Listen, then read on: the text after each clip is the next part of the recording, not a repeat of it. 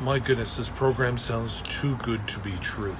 That's something Patrick Shaw, co founder of Coding for Veterans, says he hears often. Coding for Veterans helps people leaving the Canadian Armed Forces to transition to a career in information technology. Shaw was at the Peterborough Legion Monday to showcase the program. Within 10 months, through an immersive online self paced learning program, gives those individuals the opportunity, the skills to work in software development or cybersecurity, which is essentially the new battleground for Canadians. About 5,000 people leave the military each year, and Shaw says the average age of the people his company connects with is 45. It's not for everyone, but for those with the cognitive skills, with the natural inquisitiveness, with the fundamental understanding of math, uh, with the motivation to learn this, and the desire to continue their attitude around defense that they enlisted initially for.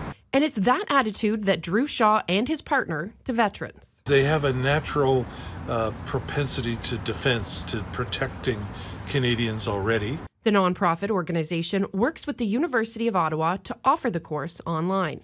The cost is $15,000, but Shaw says it's typically covered by Veteran Affairs Canada. He adds that there are currently more than 200,000 jobs that use the skill sets veterans would leave with. We actually have students that are being hired in the civilian industries before they're even fully complete their training. And the pay isn't bad either. Shaw says the Canadian tech sector has some of the highest average salaries of any occupation in Canada.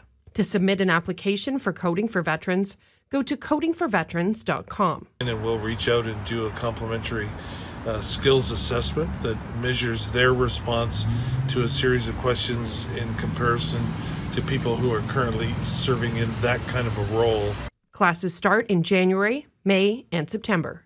Jessica Nyznik, Global News.